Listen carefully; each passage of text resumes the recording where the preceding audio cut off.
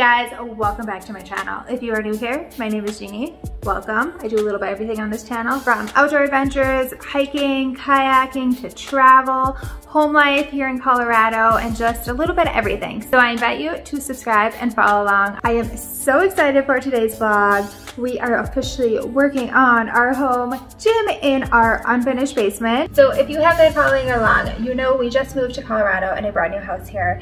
And one thing I'm so excited about is we have a basement in our house. We have never lived in a house with a basement it and you guys, I am absolutely loving having a basement and it is the perfect place to have a home gym. So our basement is completely unfinished and we do not plan on finishing our basement because we really don't use the space for anything except for our home gym and storage and whatnot. So there's really not a point to finish it. And plus you have to get building permits. There's all these different codes. You have to get electrical and all these things wired for finishing a basement. And we just don't want to put that type of an investment into our basement. So we have a really large basement and just like one portion of the basement is where we're gonna be putting in like our home gym. So I have a little bit of footage of the area and space of where we're gonna put the gym. I already have some of our workout equipment as I've been unpacking as we've been moving. However, we're gonna get some new equipment so we can really utilize this space because I don't like gyms. I hate going to a gym to work out. I've never been a fan of a gym. I love working out at home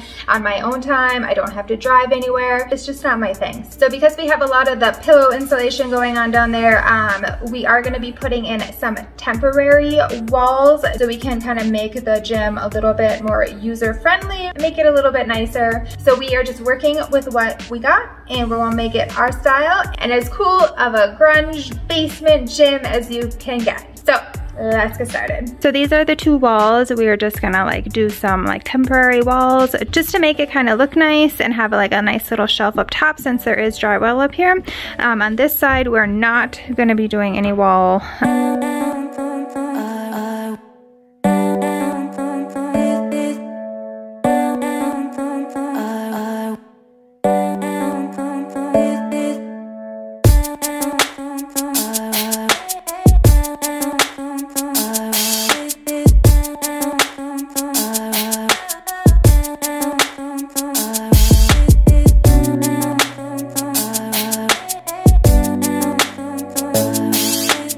Alright you guys, so all the pillow insulation is covered for this area and looks good. We just used regular MDF. It's just easier to work with and I just like MDF.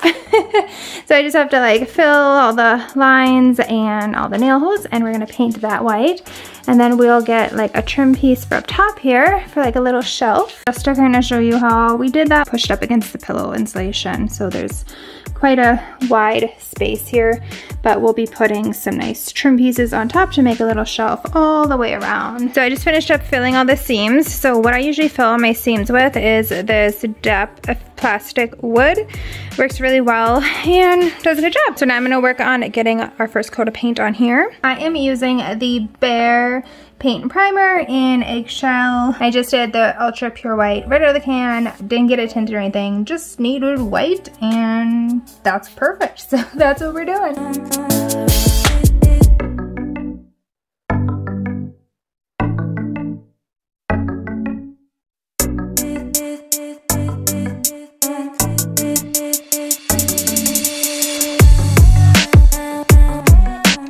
All right, the first coat is on.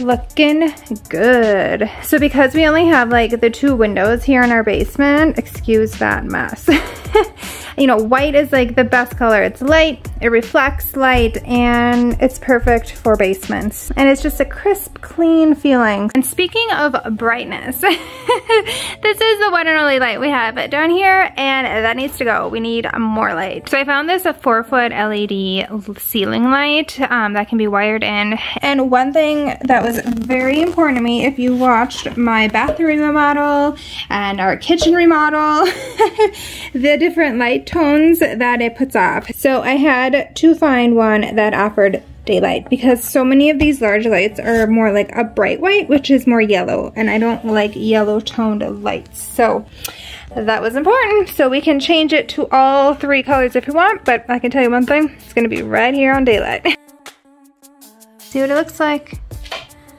nice Y'all, that is beautiful. All right, you guys, so we are doing a thing. I wasn't sure if I wanted to do this, but now that we're like getting to the point of painting and before we get everything in here, I'm gonna do it we are gonna spray the ceiling white. I love exposed ceilings. However, I don't love all the pink insulation and all the writing and all the pinks. So we're gonna spray this white. We have a paint sprayer and then we cover the beam because I love that steel beam up there. I think it's so cool. We've never done this, so kind of excited to see how this turns out. I'm using the same exact paint we use for the walls. It's a paint primer in pure white. This is our paint sprayer and it says amazing. We've done a lot of spraying of like doors and stuff with it and we love it. Safety first, everybody.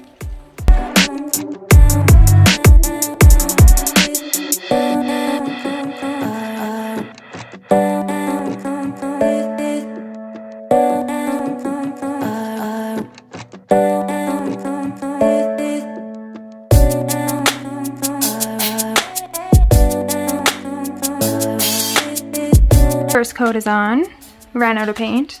I only had like three quarter of a gallon, so I knew I'd run out pretty quick. I don't know, I'm assuming this will take two, maybe three coats to get it like complete coverage. Looks pretty cool. I'm actually digging how this is looking.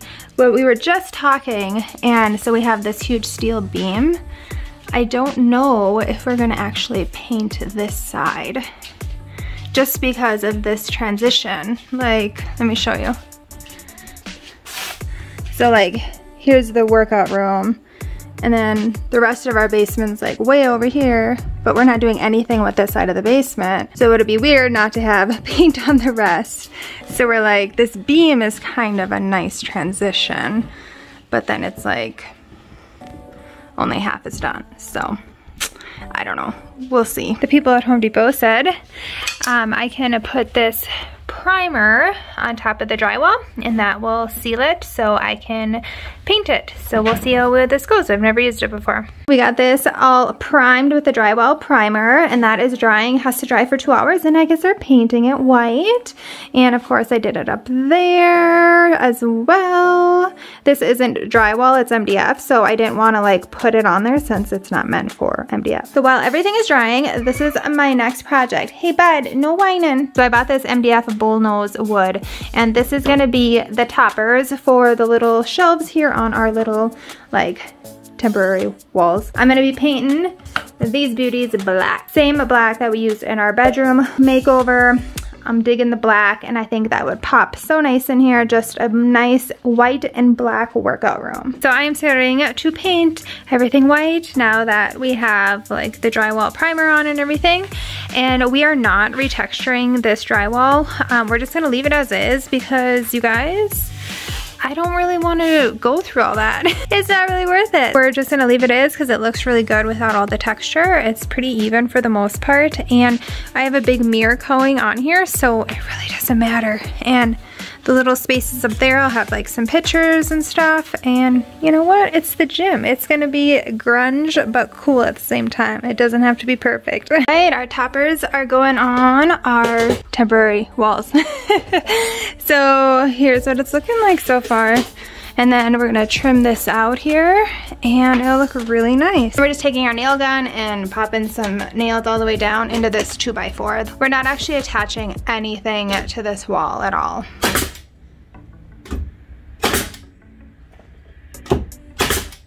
Right, so here's the trim we're putting up, so it will cover this.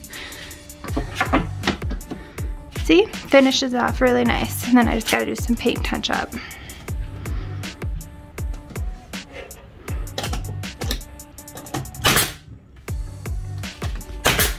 We are doing the trim on the floor now. And this is just standard three and a half inch craftsman trim. That's my favorite type of trim. So it's coming together. Everything's getting trimmed out nicely. All right, now we're trimming out the window with just a standard trim. Um, usually when I'm trimming out windows, I would use a thicker header for more character, but because it's a basement and the ceilings are lower, I'm just sticking with three and a half trim all the way around. Painting is done, um, and I ordered a really large rug from Amazon for the floor in here. I actually prefer working out on like carpet or like a rug or something. I don't like bare flooring to work out on. It has to have like a tiny bit of cushion. And I know there's like the cushion flooring for like workout rooms, but we didn't want to go crazy with that. And plus it's always in the color black. You guys, black is like the worst color to keep clean on a floor. So there's no way I would put that in here because it would drive me absolutely nuts. Light flooring or rugs is the way to go so you don't see footprints every time you walk on it.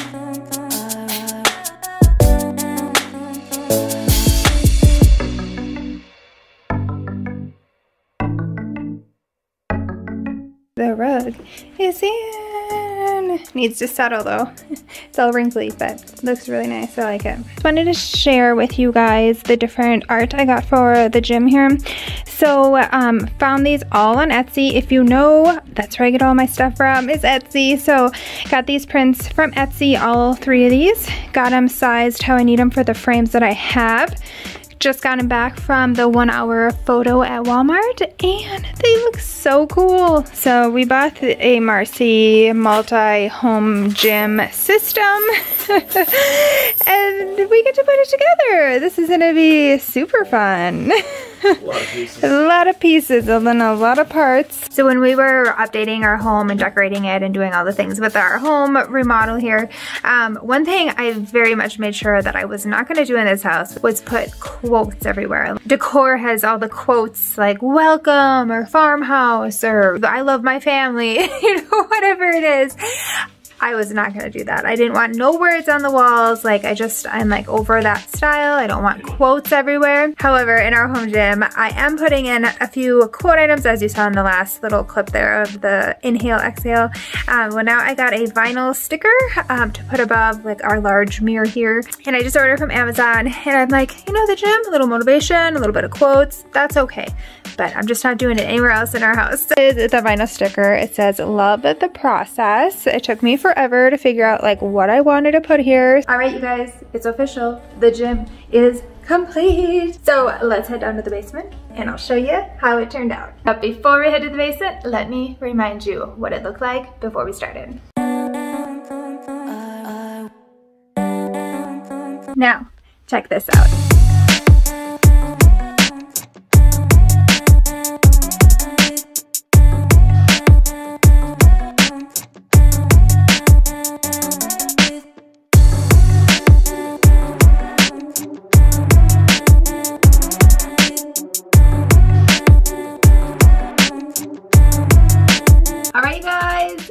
That is our brand new home gym and I love love, love it. It turned out so, so good, better than I expected. And having these temporary walls that are removable just makes the room feel definitely more complete than having the entire room as an installation. and I am absolutely obsessed with our new multi-gym home gym equipment. It's like the perfect equipment that like lets you do almost any type of exercise without having to buy like 10 pieces of equipment. So highly recommend if you're looking to put in a home gym, get like a multi-gym system because you can get the most bang for your buck and you don't need a lot of space for it. They're nice and compact. They also do everything you need them to do. So let me turn around the camera and I will share with you all the things I added to our home gym. All right, so I'm just gonna start off with the home gym system here. This is the Marcy Diamond Elite Home Gym System. There's like pulley systems everywhere. We got lift bars, we got arms, like it is a complete complete system and we ordered it directly from Marcy just in case something was wrong or we had issues. It's just better to use a, the manufacturer than actually like ordering it from a third party. If we needed parts or something,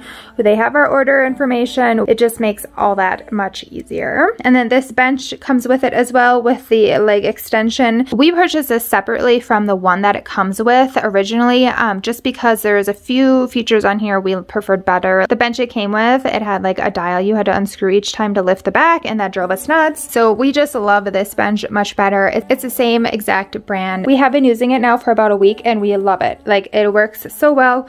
No complaints. Everything is great. Our muscles are really sore. So highly recommend. And I will leave all the links in the description of all the equipment and all the things. So if you are interested, you can definitely go check them out. All right, I did buy a brand new dumbbell rack just because the one I used to have was like the V shape and it couldn't hold all my weights. I bought it on Amazon and it has been absolutely awesome. Now, as I mentioned, I got all our little artwork here from Etsy right there. He's in the back there. I don't know about you guys, but I love having kind of a guide when I'm working out. So I just wrote down a whole bunch of exercises on these little pieces of paper, found these little clips at Walmart, and it's perfect. So when it's leg day, I can follow along on the leg guide. When it's arms and abs, I have those guides to kind of remind me of exercises and cardio. So this is perfect and I use it every single time I work out to give me refreshers and reminders of some good exercises for each body part. So fun fact, this large mirror here on this wall and the one over there on that little wall, those were both mirrors from our bathrooms when we remodeled them. So we put in new mirrors in our master bath and then my husband's bathroom. And so we just repurposed those mirrors that we didn't want in our bathrooms for our gym. And it was perfect. We didn't have to go buy new mirrors. Absolutely loving how this quote turned out. It looks so good right above the mirrors. Here's my extra bar for deadlifts. And then over here, I just kind of have like a catch-all basket. So I have a foam roller here, which I love to just kind of roll out my body after a workout. And then I have lots of bands. I love using bands for leg work as well as ankle weights. These I use a lot all the time. Now that we have the home gym and we have a lot of pulley systems on it, I don't use my regular bands as much because I can do everything on our multi-gym and it just has so many different attachments and I can add more weight to the multi-gym than what I can get from the bands. There's definitely more resistance and weights. Just a bunch of like smaller little weights in the bottom, but it's just kind of like the catch-all for all this smaller exercise equipment. It's a nice big basket. I think I bought it from Target like three or four years ago, so works perfect. All right, guys, and that is it. That is our brand new home gym in our unfinished basement but it turned out very darn cute. You don't need a lot of space to work out and get in a good workout. And if you have the right equipment, like it makes all the difference. Not everyone loves going to a gym like me. However, I love my home gym. So I hope this gave you a little bit of inspiration if you are currently working on a home gym. I was able to give you some tips and tricks and advice. If you have any questions, be sure to comment below. And let me know too, do you want to see like workout fitnessy type vlogs on my channel. Is that something you would be interested in? If so, comment below, give this video a thumbs up. Thank you guys so much for tuning in and we will see you guys in the next vlog. Bye guys.